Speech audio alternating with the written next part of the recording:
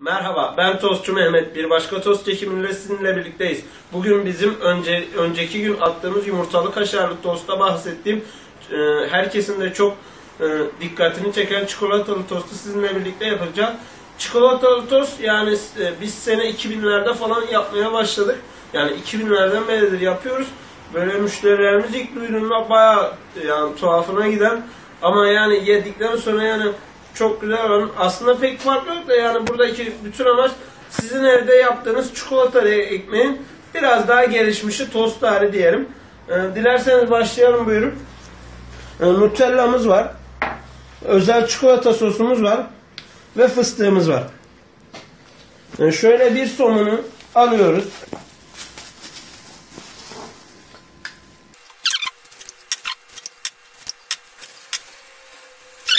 İri fıstığımızı şöyle üstüne döküyoruz.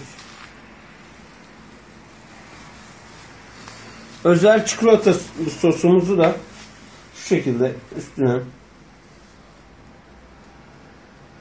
döküyoruz.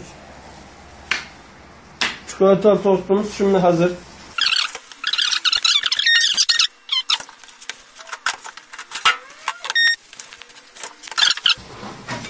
Tahtanın üstüne koyduktan sonra dilimliyoruz.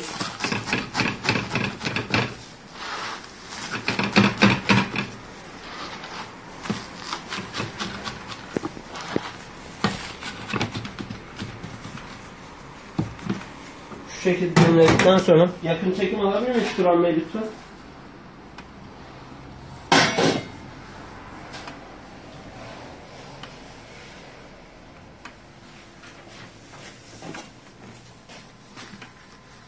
Şöyle tabağa servis edip